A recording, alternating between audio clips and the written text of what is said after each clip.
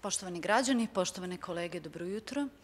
O trenutnoj epidemiološkoj situaciji i rezultatima testiranja unuzad 24 časa izvijestit vas ministar zdravlja i socijalne zaštite u vladi Republike Srpske, dr. Alen Šeranić. Ministre, izvolite. Hvala, dobro jutro. Evo, kada je u pitanju današnji dan, e, nalaze smo radili u Laboratorijskom institutu za javno zdravstvo, tako da je u protekla 24 časa testirano ukupno 343 uzorka, a pozitivnih e, osoba na koronavirus je bilo 7.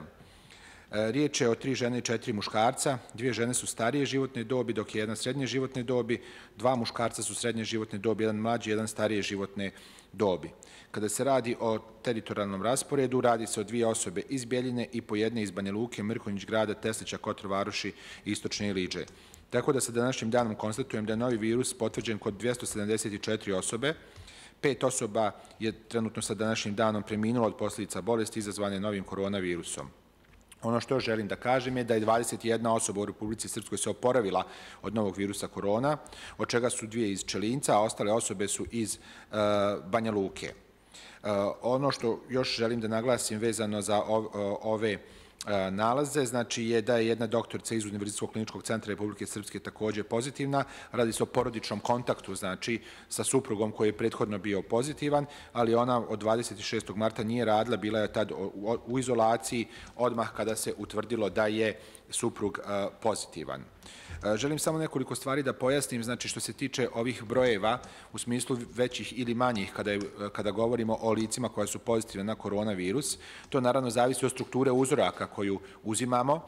Institut za javno zdravstvo je zadužen da radi analizu uzoraka iz cijele republike, znači sa terena, odakle dolaze svi uzorci krenući recimo od Zvornika, Istočne Liđe, Pala, Bjeljina i tako dalje dok u klinički centar kada radi uzorke, on radi uzorke svih onih koji su iz kliničkog centra, koji čekaju na hospitalizaciju, koji imaju simptome i posljedično znači nešto iz uh, populacije, prije svega iz Banja Luke. Iz tog razloga, kad imamo i rezultate kliničkog centra, uobičajeno je broj uh, lica koja su pozitivna i viši, što je i za očekivati, s obzirom da se radi o licima koja već imaju simptomatologiju na uh, koronavirus. Kada radi institut, radi se ciljano o kontaktima koji se nalaze u populaciji lica lica koja su pozitivna na korona e, virus. Tako da e, ovi brojevi su direktno vezani za strukturu samog uzorka koji uzimamo na terenu i oni epidemiološki u ovom smislu e, da kažemo da, se nešto, da smo nešto optimistični ili da nismo optimistični ne znači mnogo. Kažem, još smo u fazi epidemije, tako da ćemo i dalje pratiti sve ove rezultate, ali ono što je svakako dobro je da kad uradimo ovakve uzorke kao što je bilo današnji slučaj je da imamo manje pozitivni, znači da su kontakt kontakti lica koja su bila pozitivna negativni i da treba na, na e, određen način da i dalje ispratimo, ali da imaju, e, da tako kažem, negativan nalaz na koronu e, virus. Kada je u pitanju ukupan broj uzoraka, znači mi smo ukupno do sada istestirali 2320 e, uzoraka, od čega, sam, od čega su, kao što sam i rekao, 274 osobe pozitivne. E, kada govorimo o, o trenutnom broju lica po zdravstvenim nadzorom, znači tu nam se već situacija izjednačava, tako da je trenutno 10.393 osobe su pod zdravstvenim nadzorom u Republici Srpskoj, a 10.032 osobe su izašle iz zdravstvenog e, nadzora.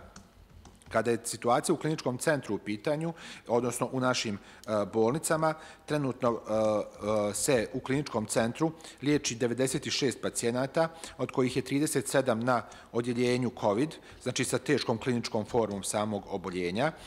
Na respiratoru imamo 7 pacijenata, u izolaciji, znači onih koji imaju simptome, a čekaju nalaze 13 pacijenata, dok se na donjoj lokaciji stare pulmologije sa, uh, nalaze lica sa lakšem ili srednjom kliničkom formom samog oboljenja i njih je 39.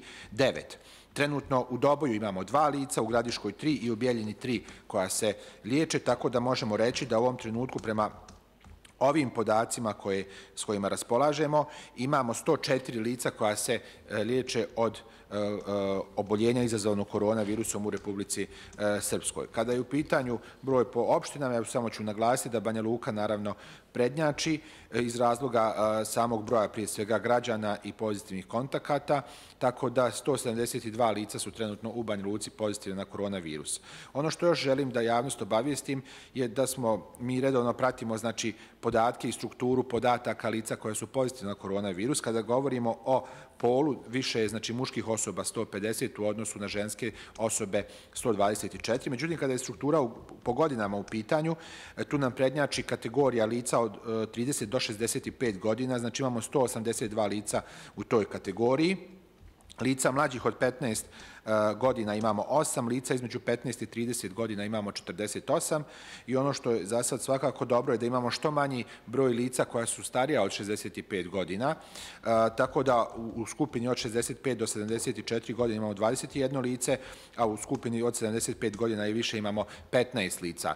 Što god budemo se držali preporuka, i fizič, e, smanjenja znači fizičke distance i onemogućavanja da nam virus zarazi lica koja su starija od 65 godina, imat ćemo bolju sliku i bolju kontrolu u smislu lica koja potencijalno mogu da izgube život zbog ovog oboljenja, tako da i dalje e, ono što se traži od građana je da poštuju preporuke i moram opet reći da e, evo ono što imam ja prilike da vidim je da smo ovaj uzorni u tome i treba samo tako da nastavimo.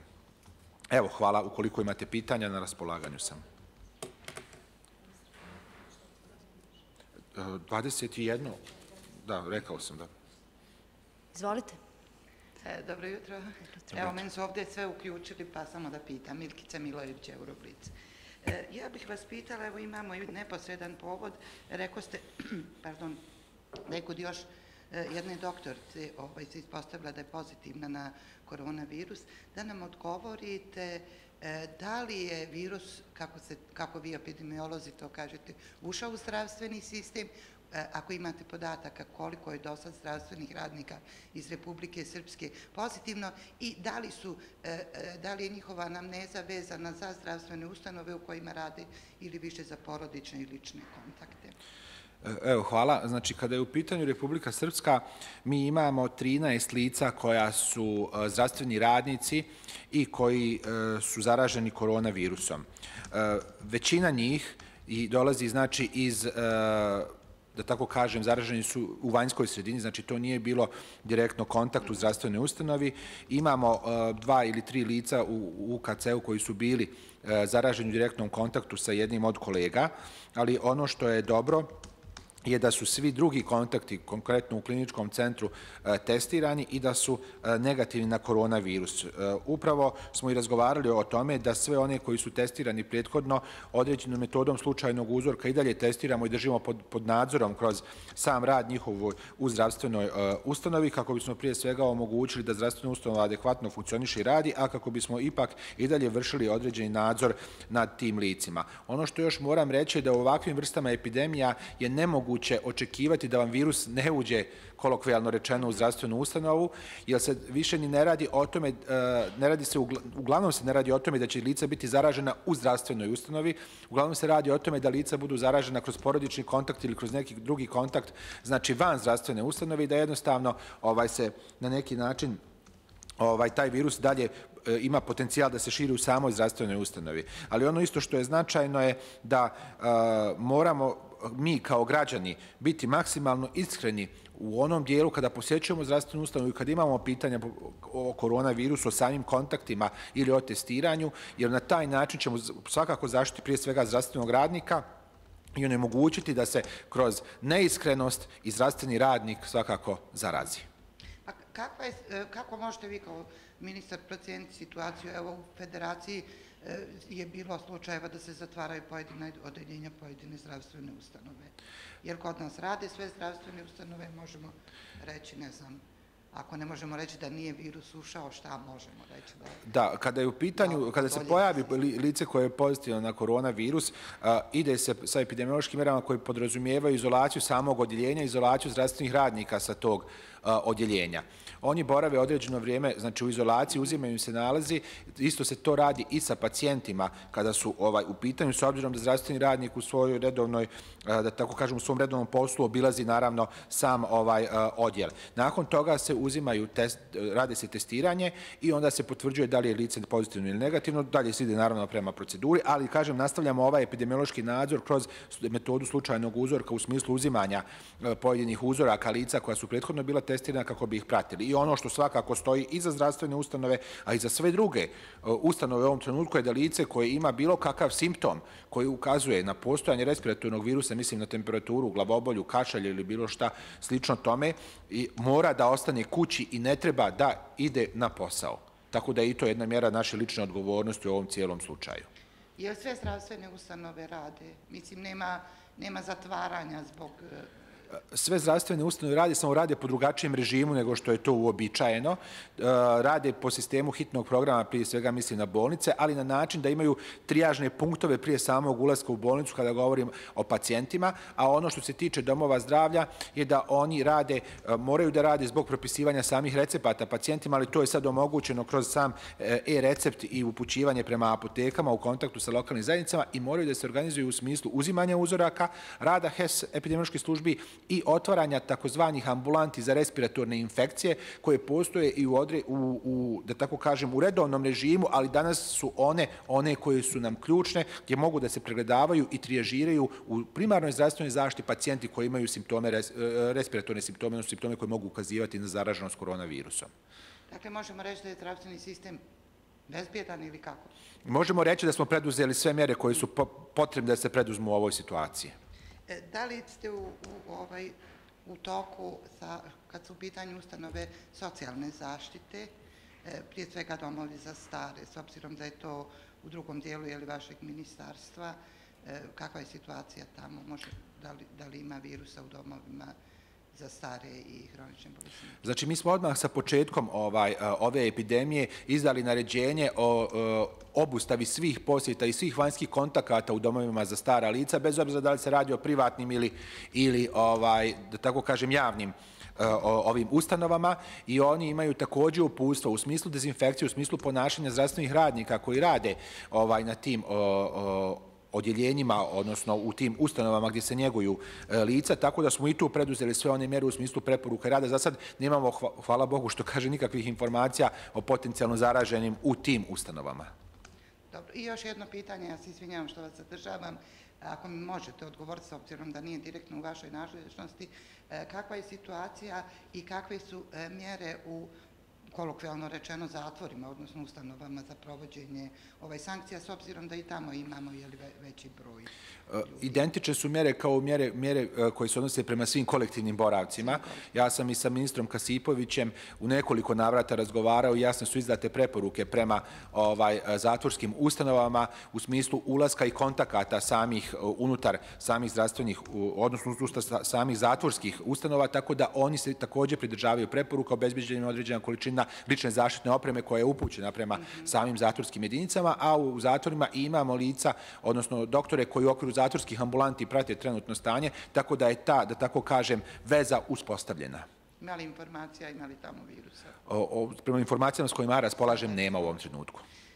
Ja sam rekla neću više, ali evo još. I, po, ima li, da li su preporučene neke posebne mjere, obećavam da je ovo posljednje pitanje, a koje se odnose e, recimo na fabrike i preduzeća u kojima u jednoj prostoriji radi veliki broj radnika. Te su mjere izdate kroz uputstvo Instituta za javno zdravstvo odmah na početku epidemije i poslane prema udruženju unije poslodavaca, odnosno privrednoj komori, da se e, pošalju prema svim privrednim subjektima kako i na koji način treba da zaštite svoje radnike. Nisu bile samo mjere u smislu lične zaštite pojedinca, nego mjere prije svega u smislu dezinfekcije, način dezinfekcije površina, kojim sredstvima, u kojem razblaženju i tako dalje, tako da su kroz upustvu Instituta za javno zdravstvo prema poslovnim subjektima e, e, svi poslodavci, odnosno oni koji vrše poslovnu djevlatnost, obavješteni kako i na koji način mogu da se i treba da zaštite e, svoje, svoje radnike. Redu, hvala. Hvala vam.